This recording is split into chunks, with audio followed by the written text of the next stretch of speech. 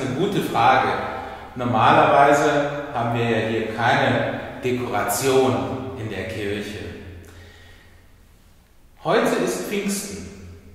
Pfingsten ist der Geburtstag der Kirche.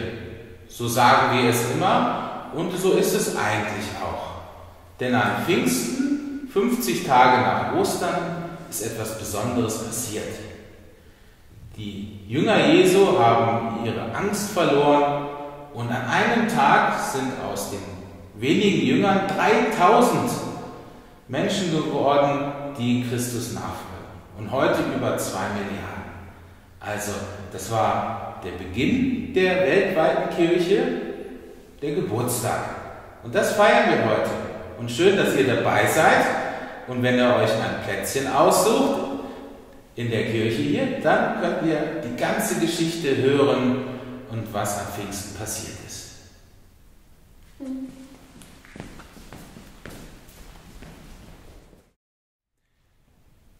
Unser Herr Jesus Christus spricht, ich will den Vater bitten, und er wird euch einen anderen Tröster geben, dass er bei euch sei in Ewigkeit, den Geist der Wahrheit, den die Welt nicht empfangen kann, denn sie sieht ihn nicht und kennt ihn nicht. Ihr kennt ihn, denn er bleibt bei euch und wird in euch sein.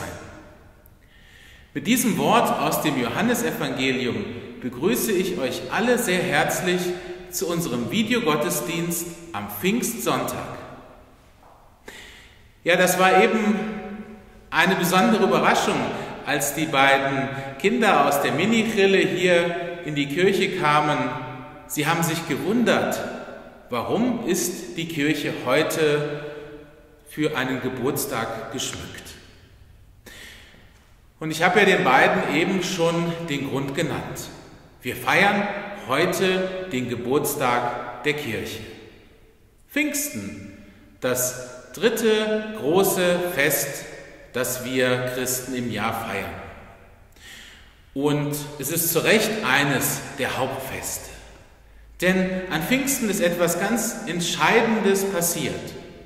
Damals, vor 2000 Jahren, ist den Jüngern der Heilige Geist buchstäblich in die Knochen gefahren.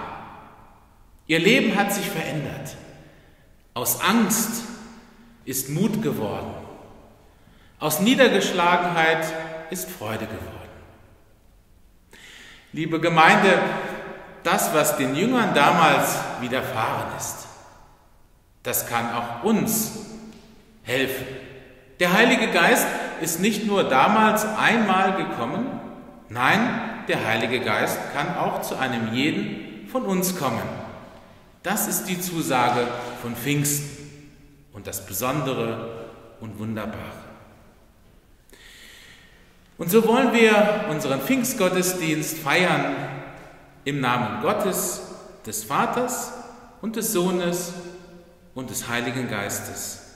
Amen. Musikalisch wird unser Gottesdienst heute von der Familie Orendein gestaltet, wiederum unterstützt durch Sängerinnen und Sänger unseres Kirchenchores.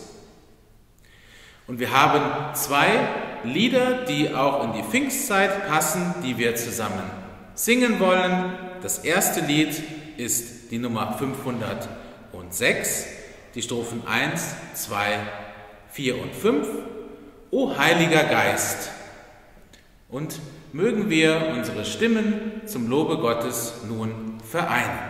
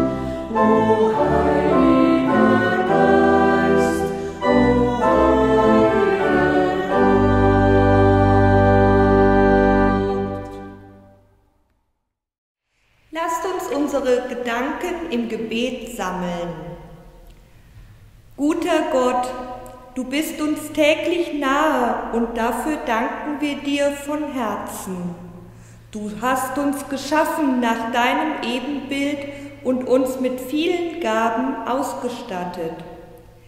Dein lieber Sohn, unser Herr Jesus Christus, ist in die Welt gekommen, um uns den Weg zum ewigen Leben zu weisen. Und heute an Pfingsten dürfen wir uns über die Gabe des Heiligen Geistes freuen. So bitten wir dich heute am Geburtstag der Kirche besonders um deinen Heiligen Geist für einen jeden von uns. Sende auf uns deinen Frieden und gib uns durch die Gabe des Heiligen Geistes Kraft, Freude und Frieden für unseren Lebensweg. Sende deinen Heiligen Geist aber auch auf deine Kirche, mitten hinein in unsere manchmal verzagten Herzen und schenke uns so gute Gedanken für die Zukunft. Dies alles bitten wir dich im Namen unseres Herrn Jesus Christus, der mit dir und dem Heiligen Geist lebt und regiert von Ewigkeit zu Ewigkeit. Amen. Hören wir heute auf die Pfingstgeschichte, wie sie uns im zweiten Kapitel der Apostelgeschichte überliefert wird. Als das Pfingstfest kam, waren wieder alle da, die zu Jesus hielten und versammelten sich. Plötzlich gab es ein mächtiges Rauschen, wie wenn ein Sturm vom Himmel herabweht. Das Rauschen erfüllte das ganze Haus, in dem sie waren. Dann sahen sie etwas wie Feuer, das sich zerteilte und auf jeden ließ sich eine Flammenzunge nieder. Alle wurden vom Geist Gottes erfüllt und begannen in anderen Sprachen zu reden. Jeder und jede wie es ihnen der Geist Gottes eingab. Nun lebten in Jerusalem fromme Juden aus aller Welt, die sich hier niedergelassen hatten. Als sie das mächtige Rauschen hörten, strömten sie alle zusammen. Sie waren ganz verwirrt, denn jeder hörte die Versammelten, die Apostel und die anderen in seiner eigenen Sprache reden. Außer sich vor Staunen riefen sie, die Leute, die da reden, sie sind doch alle aus Galiläa. Wie kommt es, dass jeder von uns sie in seiner Muttersprache reden hört? Wir kommen aus Persien, Medien und Elam, aus Mesopotamien, aus Judäa und Kappadokien, aus Pontus und aus der Provinz Asien, aus Phrygien und Pamphylien, aus Ägypten, aus der Gegend von Cyrene in Libyen und sogar aus Rom. Wir sind geborene Juden und Fremde, die sich der jüdischen Gemeinde angeschlossen haben, Insel- und Wüstenbewohner. Und wir alle hören sie in unserer eigenen Sprache die großen Taten Gottes verkünden. Erstaunt und ratlos fragten sie einander, was das bedeuten solle. Andere machten sich darüber lustig und meinten, die Leute, die sind doch völlig betrunken. Da stand Petrus auf und die elf anderen Apostel mit ihm, und er rief laut, Ihr Juden aus aller Welt und alle Bewohner Jerusalems, lasst euch erklären, was hier vorgeht, hört mich an. Die Leute hier sind nicht betrunken, wie ihr meint, es ist ja erst neun Uhr in der Frühe. Nein, hier geschieht, was Gott durch den Propheten Joel angekündigt hat. Wenn die letzte Zeit anbricht, sagt Gott, dann gieße ich über alle Menschen meinen Geist aus. Männer und Frauen in Israel werden dann zu Propheten. Junge Leute haben Visionen und die Alten prophetische Träume. Über alle, die mir dienen, Männer und Frauen, gieße ich zu jener Zeit meinen Geist aus und sie werden als Propheten reden. Selig sind, die Gottes Wort hören und bewahren. Halleluja. Gnade und Friede sei mit euch von unserem Herrn Jesus Christus. Amen. Liebe Gemeinde, vor gut 75 Jahren ist der Krieg, der Zweite Weltkrieg in Europa zu Ende gegangen. Und in den letzten zwei Wochen ist daher dieses Thema Ende des Krieges und was da alles passiert ist, Vertreibung und Flucht, bei mir sehr präsent gewesen. Ich habe mir im Fernsehen einiges an Dokumentationen angeschaut. Meine eigene Familie, mein eigenes Herz betrifft diese Geschichte vom Ende des Zweiten Weltkrieges durchaus im größeren Maße. Meine Mutter musste mit neun Jahren zu Beginn 1945 ihre Heimat verlassen, die Rote Armee hinter ihnen her. Sie waren auf der Flucht, sie mit ihren vier Geschwistern und mit ihrer Mutter, meiner Oma Elisabeth.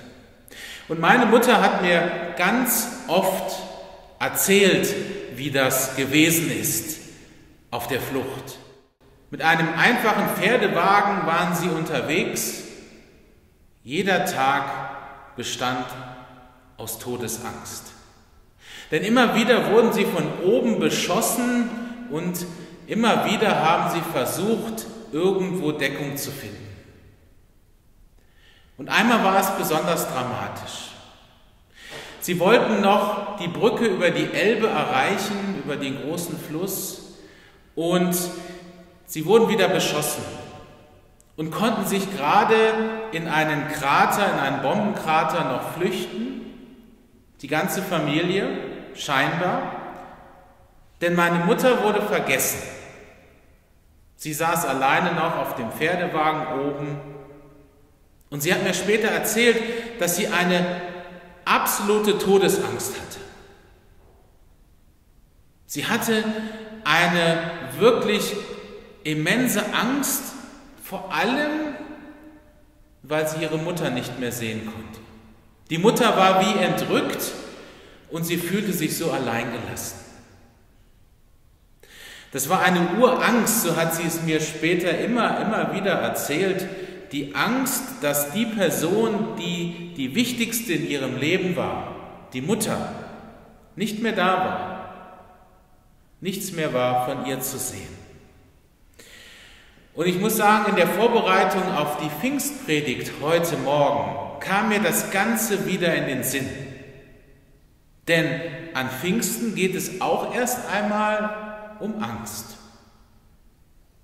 Die Jünger Jesu, sie sind ja nach dem Auffahrtstag, den wir ja letzte Woche gefeiert haben, auch ohne die Person gewesen, die ihr Leben getragen hat. Jesus wurde ja in den Himmel entrückt und war nicht mehr zu sehen. Die Jünger mussten auf einmal ohne ihren Meister weiterkommen. Und das war ja für sie sehr schwierig. Denn drei Jahre lang, so schreibt es uns die Bibel, ist ja Jesus mit ihnen durch das Land gezogen, hat sie aufgebaut, ihnen Trost zugesprochen, ihnen Mut gemacht. Liebe Gemeinde, das waren ja einfache Fischersleute. Und auf einmal haben sie diesen großen Auftrag bekommen, mit Jesus durch das Land zu ziehen. Jesus zu begleiten, wie er Menschen gepredigt hat vom Reich Gottes. Jesus zu begleiten, wie er Menschen geheilt hat. Das war eine besondere Zeit. Und nun bleiben sie erst einmal zurück, ohne ihren Meister. Und ich kann es mir gut vorstellen, dass sie sich immer, immer wieder gefragt haben, was wird jetzt aus uns? Wer hilft uns nun noch? Denn, denn es gab viele in ihrem Umfeld, die Römer, die sich Gedanken machten um diese neue Gruppe, die Christen. Aber auch andere jüdische Vertreter, Pharisäer Sadduzäer, die gar nicht begeistert waren, dass da noch Menschen von Jesus sprechen wollen. Ja, diese Jünger, sie waren bedroht. Und so ist es allzu verständlich, dass sie sich verkriechen. Sie schließen sich ein in einem Obergemach eines Hauses und überlegen, wie soll es weitergehen. Und man kann sich das gut vorstellen, dass sie wirklich von Angst und Zweifel erfüllt waren. Sie diskutieren wild durcheinander, Sollen wir zusammenbleiben und weiter von Jesus reden oder sollen wir wieder jeder einen eigenen Weg gehen? Liebe Gemeinde, das war ein entscheidender Moment der Weltgeschichte. Stellen wir uns einmal vor, einer von den Jüngern hätte gesagt, Leute, ich gehe wieder nach Hause. Das mit Jesus war ein Irrtum. Stellen wir uns vor, einer hätte das gesagt und wäre durch die Tür hinaus wieder zum See Genezareth zum Fischen gegangen. Dann wäre vielleicht ein zweiter gegangen, ein dritter und das wäre es dann gewesen mit dem Christentum. Aber niemand von den Jüngern geht. Im Gegenteil, jemand kommt, nämlich der Geist Gottes, kommt über die Jünger mit lauten Brausen, mit Feuer und Donner. Das haben wir eben in der Lesung so wunderbar gehört. Gott schenkt neue Kraft. Er stellt die Jünger wieder auf die Beine. Er sagt ihren verängstigten Seelen, erhebt eure Häupter.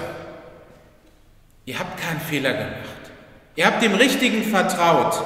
Euer Jesus lebt und schickt euch den Heiligen Geist nun und für immer. Und dann passiert eben Großes. Die Jünger machen die Türen auf.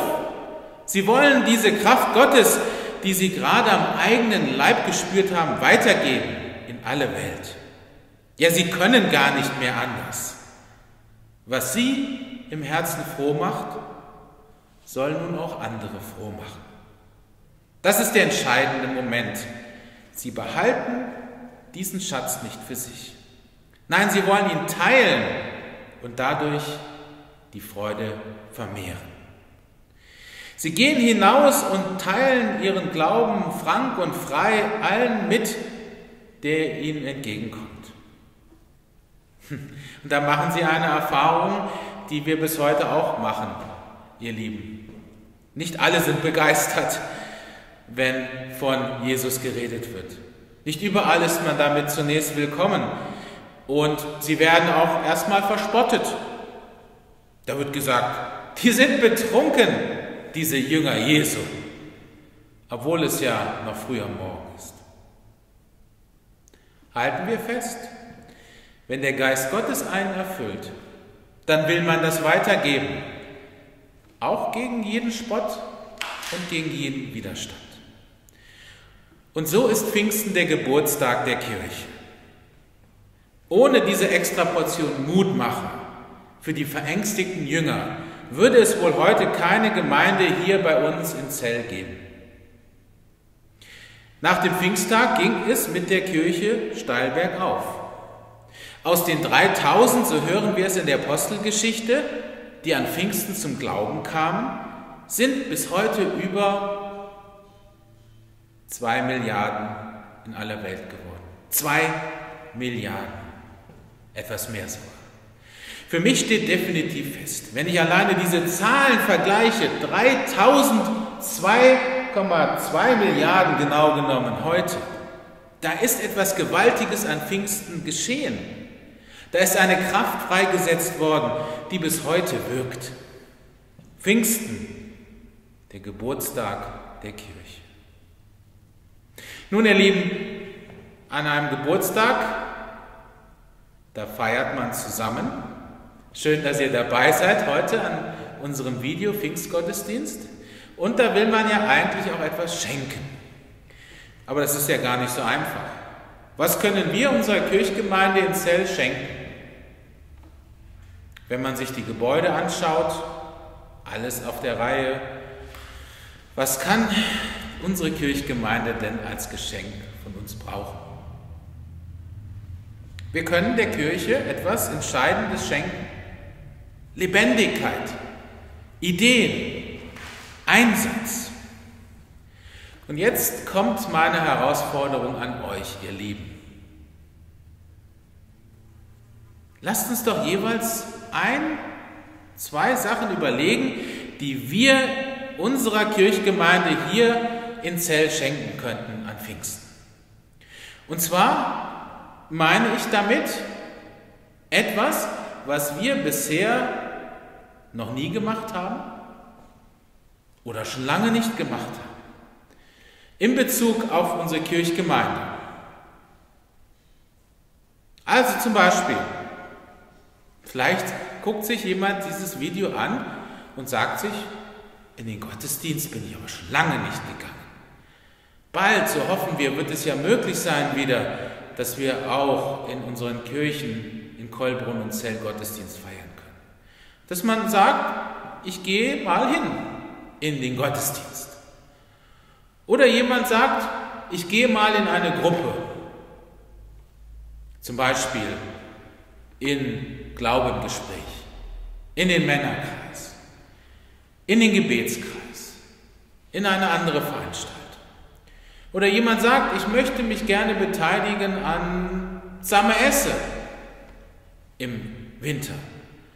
Oder jemand überlegt sich, ich möchte mich einbringen bei Veranstaltungen, ich möchte mich einbringen, auch das, was wir jetzt gerade so tun in Bezug auf äh, neue Medien, auf Internet, Aufnahmen. Das sind nur ein paar Ideen, ihr Lieben. Aber wir können doch unserer Kirchgemeinde durchaus mal ein Geschenk machen. Und deswegen lade ich euch ein, dass wir nach dem Gottesdienst mal so ein Viertelstündchen überlegen oder ihr pausiert äh, das Video jetzt an dieser Stelle gleich und überlegt, was könnte ich eigentlich meiner Kirchgemeinde in Zell schenken? Und dann schreibt es euch auf und macht es auch. Eine oder zwei Sachen reichen völlig aus. Und der Heilige Geist, ich möchte jetzt zum Schluss meiner Predigt noch einmal unterstreichen, der ist wirklich auch Gottes Alltagshilfe für unsere verzagten Herzen. Der Heilige Geist hilft uns im Alltag der Welt über Mauern zu springen. Er hilft uns, den ersten Schritt zu gehen. Er hilft uns, einmal das zu sagen, was uns scheinbar unmöglich ist. Der Heilige Geist ist Gottes Alltagshilfe. Und wir können jederzeit Gott im Gebet, im vertrauensvollen Anrufen um diesen Heiligen Geist als Beistand bitten. Der Heilige Geist wird in der Bibel, das habe ich ganz am Anfang bei der Begrüßung schon in dem Bibelwort gesagt, als Tröster, als Anwalt beschrieben. Nutzen wir diese wunderbare Möglichkeit Gottes. Gott will uns doch im Alltag begleiten. Und dafür sei ihm Ehre und Dank in Ewigkeit. Und der Friede Gottes, der höher ist als alle unsere Vernunft, bewahre unsere Herzen und Sinne in Jesus Christus, unserem Herrn. Amen. Ich wünsche euch, uns allen, unserer Kirchgemeinde, frohe und gesegnete Pfingsten. Thank you.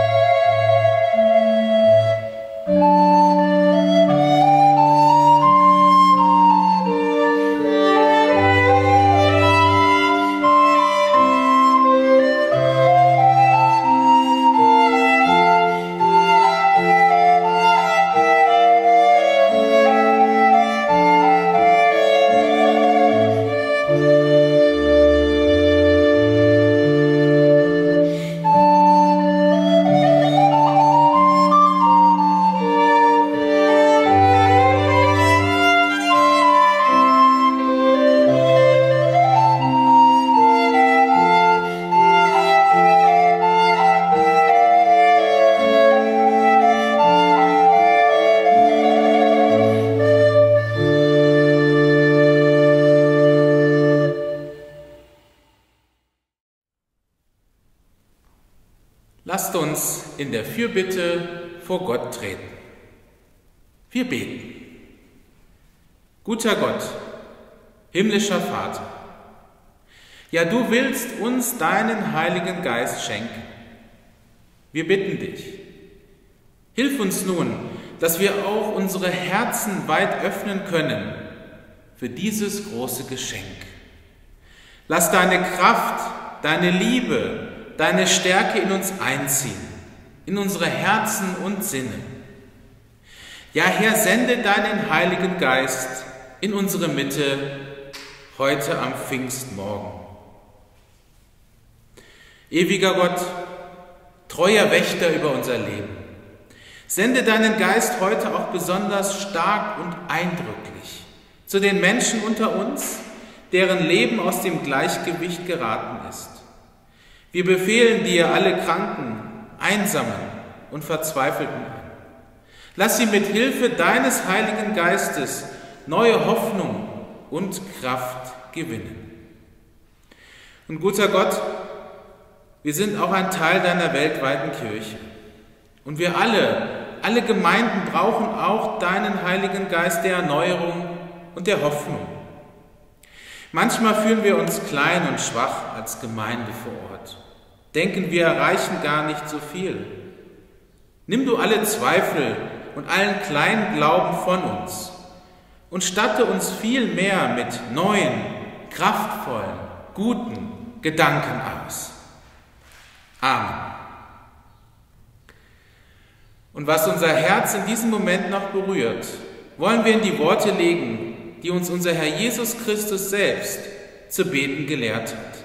Wir beten gemeinsam. Unser Vater im Himmel, geheiligt werde dein Name, dein Reich komme Dein Wille geschehe, wie im Himmel, so auf Erden. Unser tägliches Brot gib uns heute und vergib uns unsere Schuld, wie auch wir vergeben unseren Schuldigern.